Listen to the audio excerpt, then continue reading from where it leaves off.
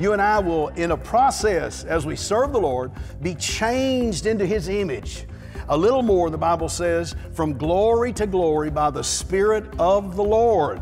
Thank God, God is the God, He is the change agent in you.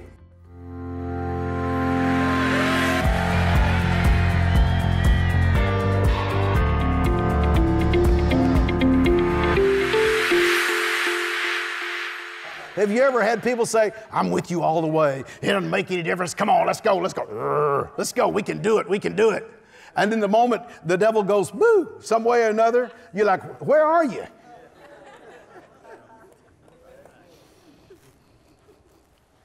Just a thought. Verse 37. And then there arose a great storm of wind, and the waves beat into the ship so that it was now full. And Jesus, he was in the hinder part of the ship, and he was asleep on a pillow. Oh my goodness. And then they woke him up, and they said unto him, Master, carest thou not that we perish? Jesus just got up and rebuked the wind, and he said unto the sea, Peace, be still. And the wind ceased, and there was a great calm. Look at verse 37. In case you forget everything else Pastor says tonight, remember this in verse 37. You notice what it says? There arose, the Bible says, a great storm of wind, and the waves beat into the ship. Everybody say, great storm. And then look at verse 39. Everybody say, great calm. Great calm. Isn't that interesting? Every time the enemy tries to give a great storm against your life, just remember God is going to manifest a answer with great peace, great calm. Something from God is going to happen that is amazing. If you just stick with the word. Uh, for the sake of a talking point that I believe God will drill into your inner man, just listen to this. Anytime you get in the boat and you're afraid your boat's going down, wake up the Word. Jesus is called the Word made flesh who dwelt among us.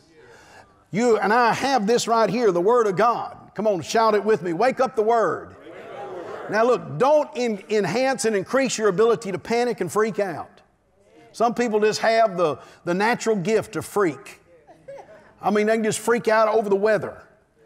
The temperature can drop, and they're like, oh my God, I don't know what's going to happen.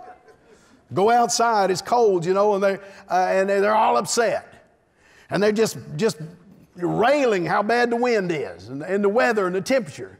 And then they get in their car and they're upset and they slam the door and the wind is cold and it breaks the window. And then things just get worse. Who knows what I'm talking about? Don't, don't look at someone, just kind of look straight ahead. the scripture says right here Jesus was in the midst of a great storm, and when he spoke to it correctly, the Bible says it became a great calm. So I don't know what the enemy is trying to do right now in your life and what circumstances have tried to bring upon you that are causing the spirit of, of storm to try to show up. But just remember, God has a great answer for every great problem that's coming your way. Come on, that's a great place right there to just take a moment and praise God. I mean, just let that get in your spirit today. So let me teach just for a moment. If I had a title for this today, I think I would call it Overcoming the Invisible and Unexpected Foe. How to overcome the invisible, unexpected foe. Do you notice what happened right here with Jesus? And I think this, I think it's worth understanding this because you see it more than once. Jesus, the Bible says, got in the boat and there arose. There arose, and that word arose is a word you'll see numerous times in the scripture. It's the word ginomai in the Greek. And I didn't give them the words to put up on there tonight. I just want you to get it. And the word, uh, it says, and it arose, there arose a great storm. It just means something that takes uh, someone off guard or completely by surprise. It means to happen suddenly and then it comes into being. Something that's real unexpected. There arose. They get in the boat, the other little boats are with them. They're just going out over the sea. Everybody's having a hallelujah time. They're talking about how Jesus multiplying the bread and the fish, and thousands are being fed with a few loaves and fishes. And then all of a sudden, it caught him by, Jesus like, I'm going to go down and take a nap.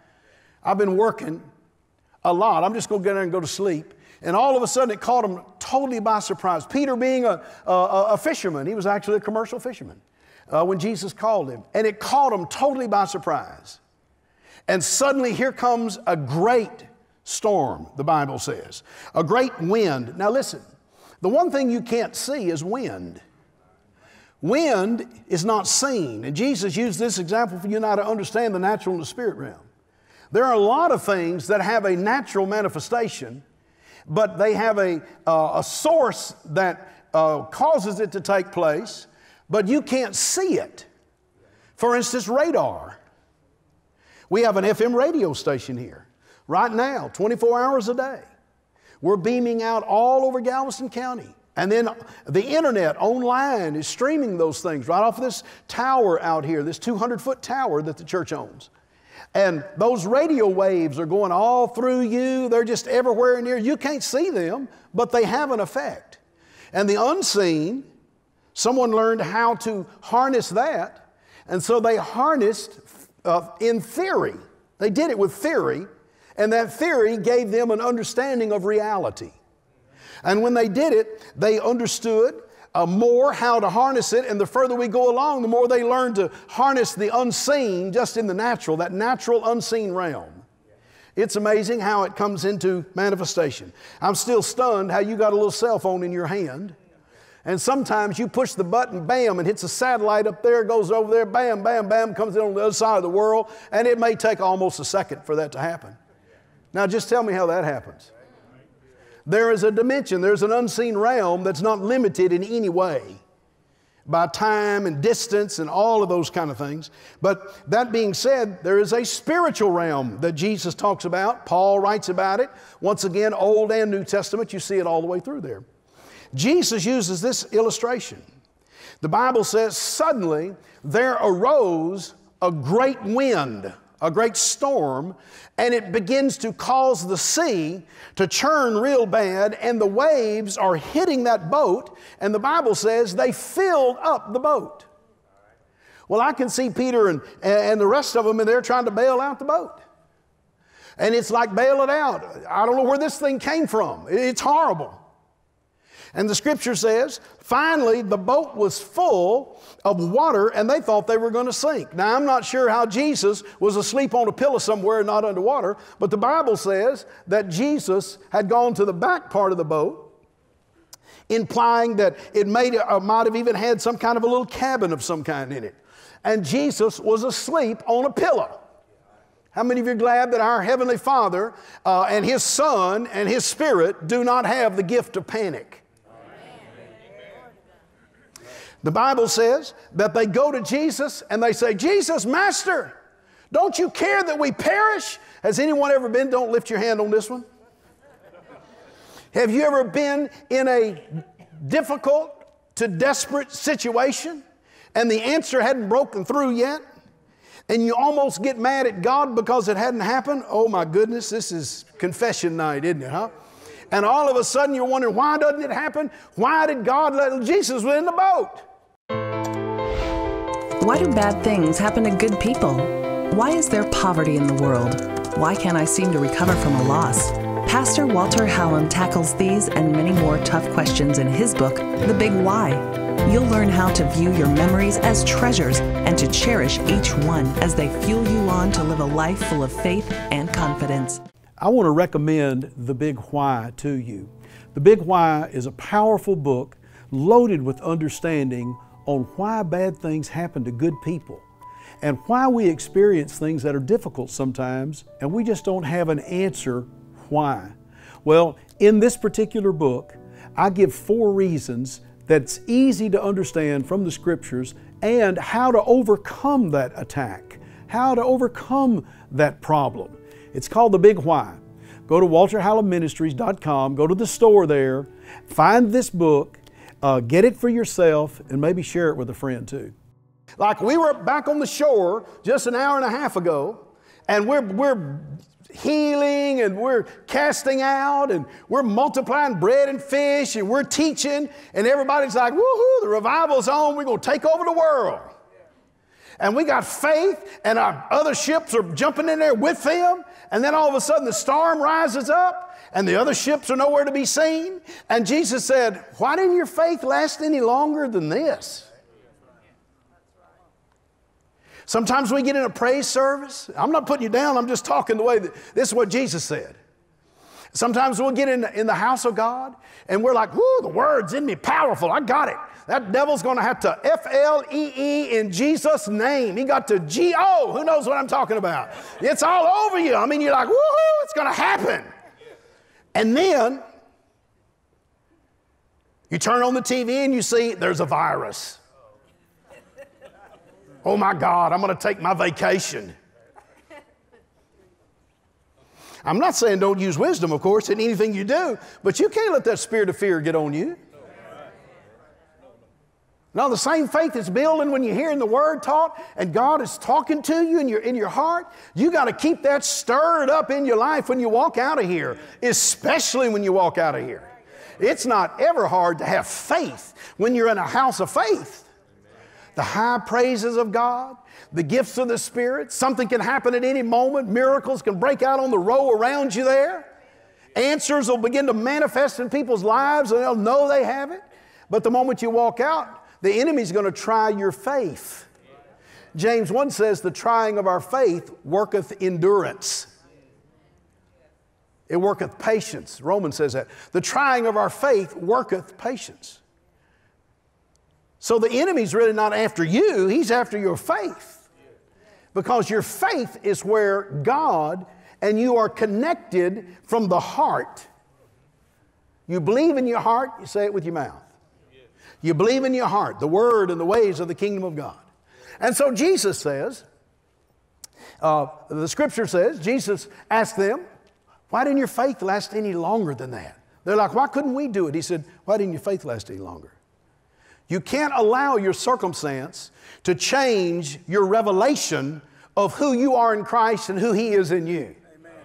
And what He can and will do through your life. Come on, you ought to clap your hands right there. I mean, it ought to just get in your spirit. A great time right there to praise God. Come on, just seal it with your praise when you do that.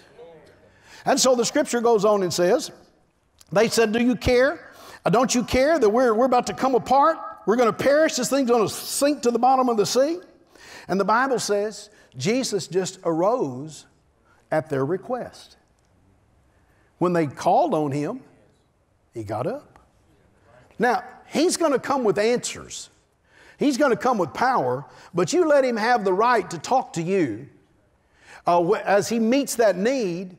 Just allow him to have the right to talk to you and to speak into your life. Like, Peter, don't have such short term faith.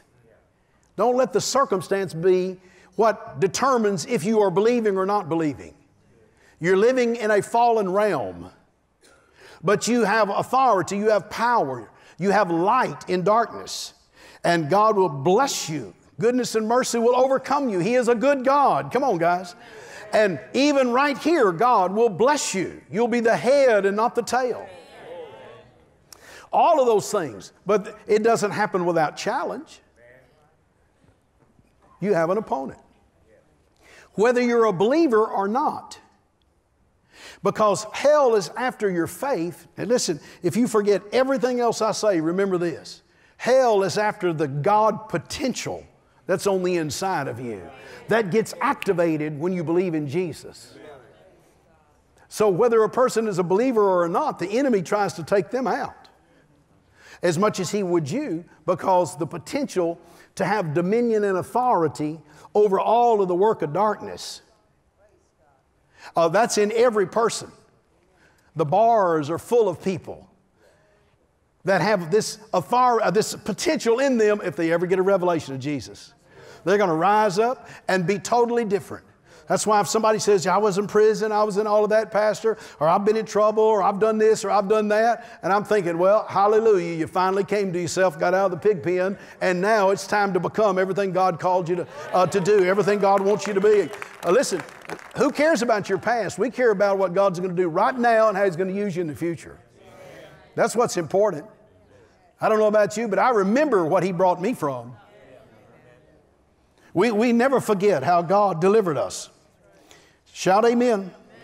So he rebuked, the Bible says, the seen realm.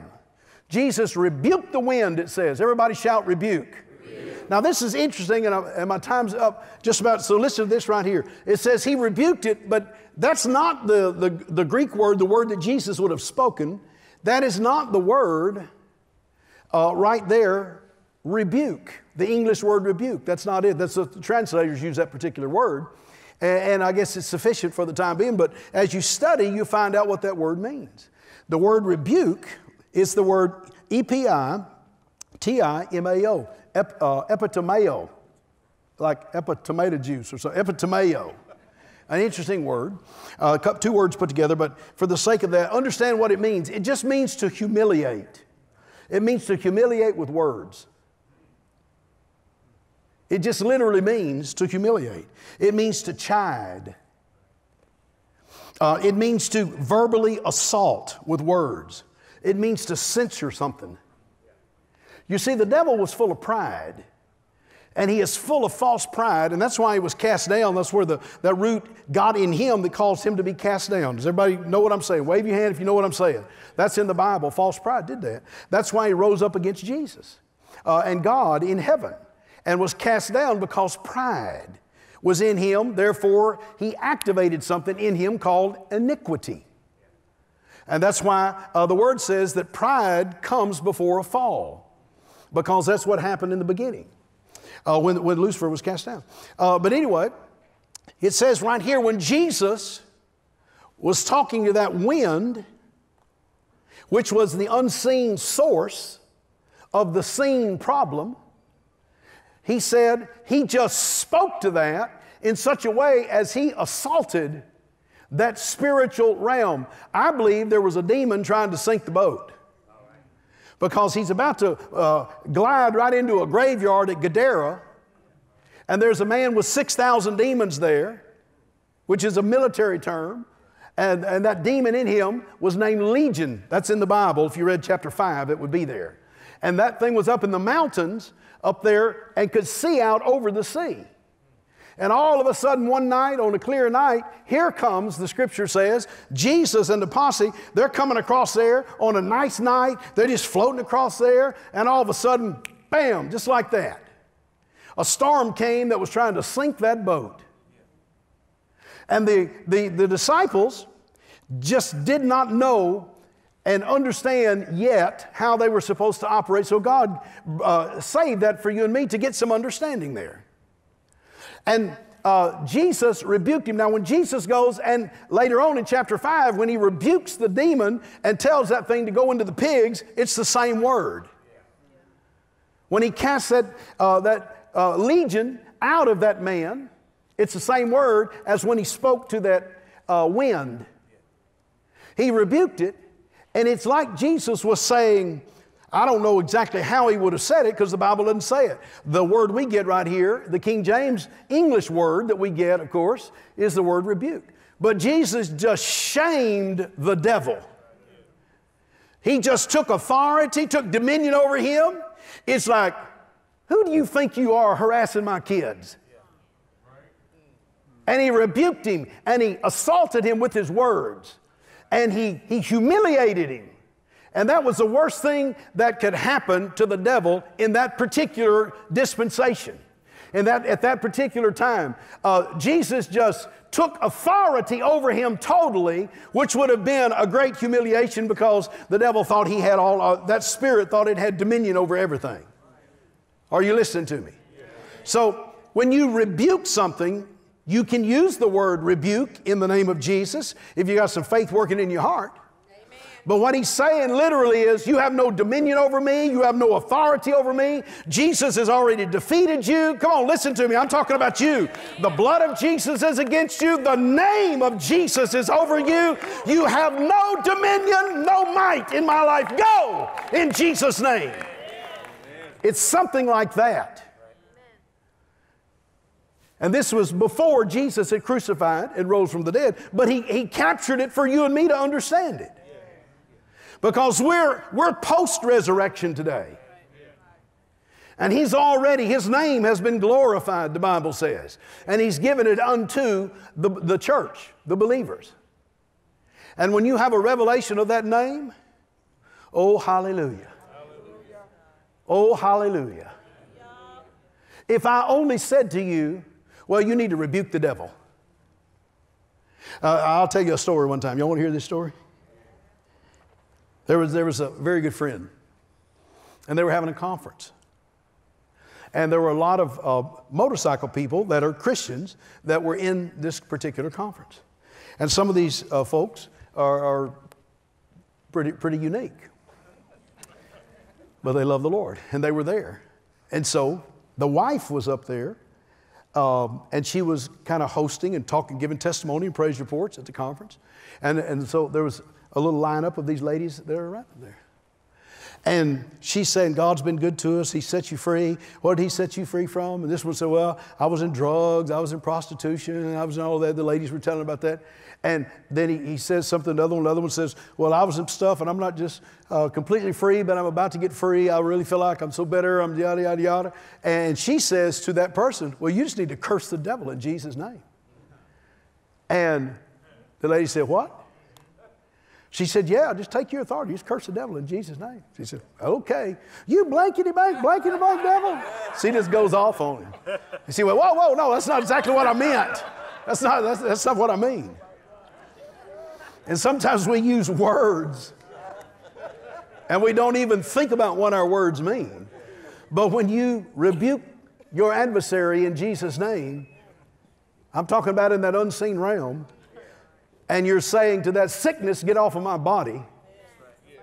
And you're saying to that poverty, get out of my family and out of my lineage. And you begin to speak the Word of God. Go ahead and define what you're saying. Go ahead and say, in the name of Jesus, every demonic force that's trying to hinder, I tell you, you're rebuked. You have no authority. You have no dominion. The name of Jesus is against you. The blood of Jesus is against you. I'll sick the angels of God on you in the name of Jesus. And when you speak that name on lips of faith, you activate that spiritual realm. What you bind, what you allow on earth is connected to that spiritual realm. But what you refuse and deny is also denied in the spirit realm. There's two realms. You okay? Did we learn something tonight? And so the Bible says Jesus did that, and suddenly there was a great calm. There was a great calm. Great storm. The, the word great is a, I like this word. The word great is the word mega, M E G A. In Greek, the original word mega. There was a mega storm. Suddenly, Caught them by surprise, about to shake them to pieces. And then Jesus, come on, shout his name again. Jesus. Jesus stands up and says, I rebuke the wind. But we understand what it means. When he said it, and when he rebuked it, there was a mega calm. Well, I hope you enjoyed the broadcast today and the message of faith. You know, the Bible says without faith, it's impossible to please God.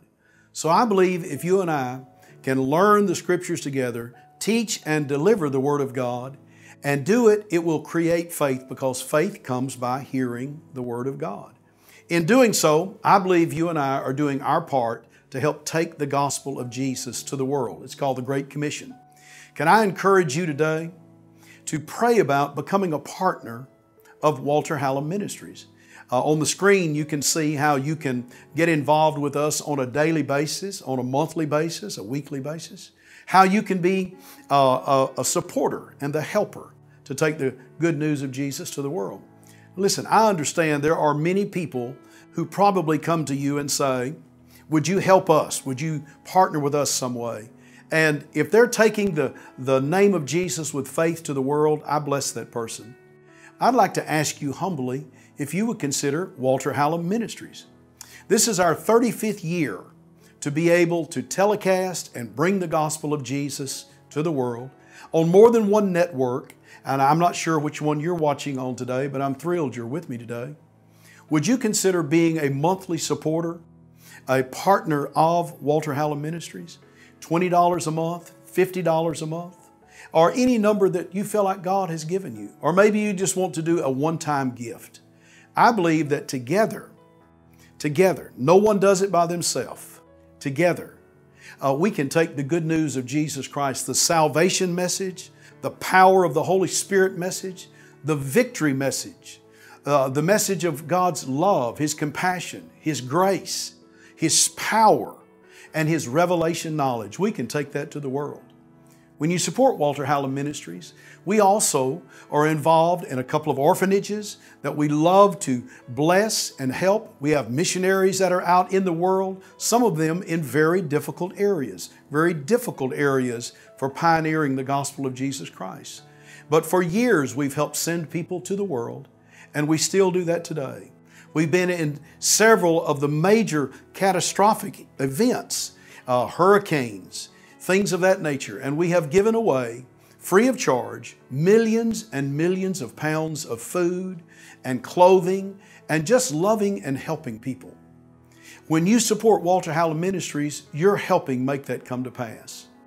Once again, uh, I know that there are people that are going to ask you the same thing, but I'm asking you humbly today would you consider supporting Walter Hallam Ministries and becoming a partner? You can go to the website at walterhallamministries.com, and there you can see easily how to join, how to connect with us. And then, as long as I have your information, like your name, your address, I'll let you know when I'm in your area. I'll come to you every week on television, online, and in all the uh, formats and platforms we can. And if we're in your region, I'll let you know about it and I'd love to meet you personally. Uh, we go to many nations of the world, not just to the United States. This is just where we originate the message from. But we take the gospel of Jesus to the world. I'm standing in our recording broadcasting studios right now. Uh, there are editing suites, there are sound suites, there are other things that are necessary in bringing that 30 minute broadcast to you.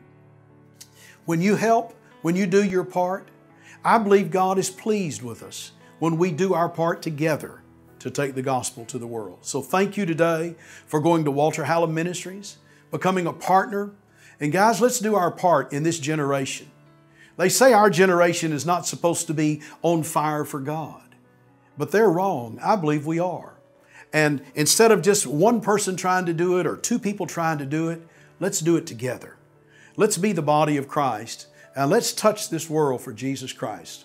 I love you today. I bless you. Thank you for letting me talk with you. I can't wait to see you and meet you hopefully in person one day. Before I leave right now, can I just pray the blessing of the Lord over you? Father, in Jesus' name, thank you for men and women who love the message of faith. They love the message of grace. They love the message of salvation that comes through Jesus Christ. Today, Lord, let the blessing of the Lord be upon everything that we put our hand to and activate for the kingdom of God. Bless my friend today. In Jesus' name, amen. God bless you. Thank you. Can't wait to meet you. Thanks for being with me at Walter Hallam Ministry.